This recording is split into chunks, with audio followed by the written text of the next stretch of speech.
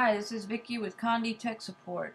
Today I want to show you how to per perform a nozzle check and a head cleaning on your Mac systems for people who have Macintosh uh, computers. I want to let you know how to perform the nozzle check and also do a head cleaning if necessary. Nozzle checks can be done on plain paper unless otherwise uh, recommended for sublimation purposes. Uh, when you print the nozzle check pattern, the yellow is sometimes hard to see.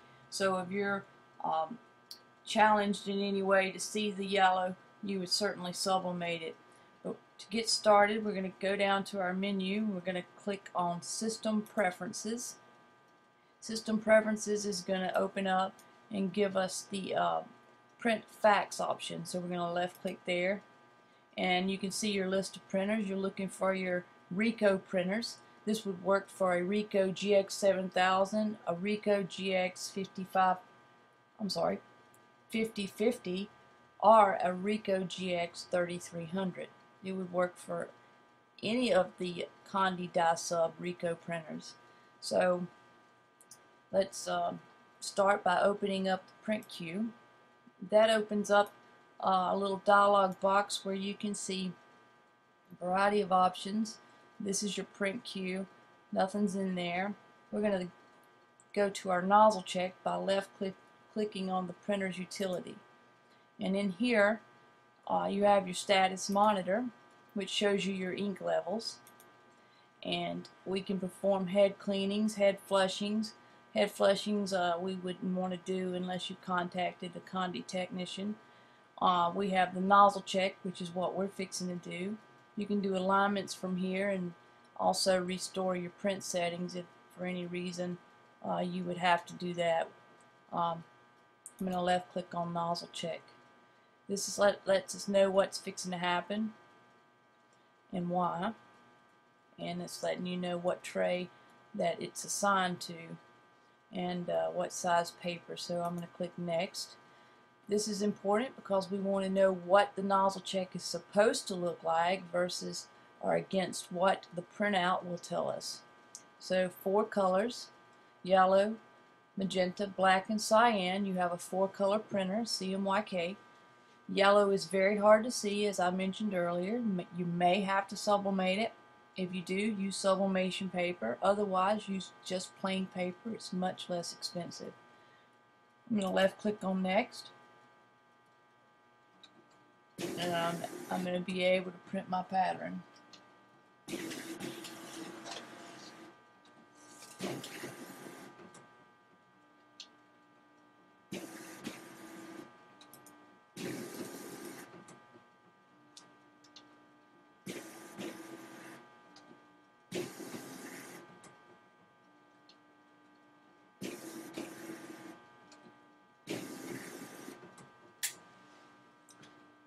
So my patterns came out and so what you'll do is you'll examine the pattern against what you seen on the screen earlier and if your pattern looks good you would just click finish. If for, the, for any reason the pattern's not good or you're missing color inside the pattern you would just click here on the head cleaning and then go to next. Now this uh, head cleaning tells you what's fixing to happen. Um, so you may want to read it. It's, it's telling you why or if, or you know, what the, if the pattern should look a certain way, basically blurred or not printed correctly, that you would perform this this cleaning. So um, to let you know, uh, the Epsons, the uh, the Epson sublimation printers earlier. Um, of course, you don't have this option where you can choose which print head to clean and that's good because you don't waste ink. Um, should you have a yellow or magenta uh, color problem you would check this box. Should you have a black or cyan color problem you would check this box. And of course you know if, if you have broken lines in a variety of colors you just go ahead and check these two and then you would click next and this is letting you know what's fixing to happen uh, and it's also saying it may take some time so we're going to click next Now, for any reason um, that after the cleaning, most people, I would, um, I would want to check my pattern again to make sure that I made improvements. So um, I would check this box because what's important with the nozzle check and the head clean is that uh, you're verifying that your printer is healthy and that you do uh, repair any issues that you may uh, see in the, in the pattern so that you can print successfully in your jobs. So you would print another test pattern uh, right after the nozzle check. I'm not going to do it. Uh, keep in mind too, a couple of, if you're not making improvement after a couple of cleanings, if the nozzle check's still bad, then I, I recommend you stop and call us here at the Conde Tech Support so that we can um, help you with the next steps into getting your printer back up to healthy. And um, that's what I would recommend. You wouldn't want to keep draining ink out of your printer if you're not making progress. So keep in mind um, couple of head cleanings. Usually with the Ricoh printers it doesn't require but one, maybe two at the most. So I'm just going to go ahead and click finish. And that uh, would conclude on how to do the nozzle check pattern and also the head cleanings.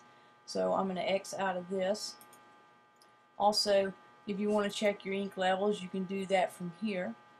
So you have the supply level. It shows you what your levels are in your printer, your current levels. Also you have the uh, the option to check your bypass tray. Say for instance your bypass tray doesn't show up or you can't print to it. You have some options here to make sure that it is selected and, and that you are able to print to it. That's a good little thing to know. And um, that's it for doing your nozzle check and head cleaning. I hope I've helped. If for any reason you have any questions on this procedure, on how to perform a head cleaning and nozzle check on your Macintosh computer uh, that's connected to your Ricoh, you can give us a call here at Conde Systems 1-800-826-6332. We're happy to walk you through it. Again, my name is Vicky, and I'm with Conde Systems Tech Support. Thank you for your time.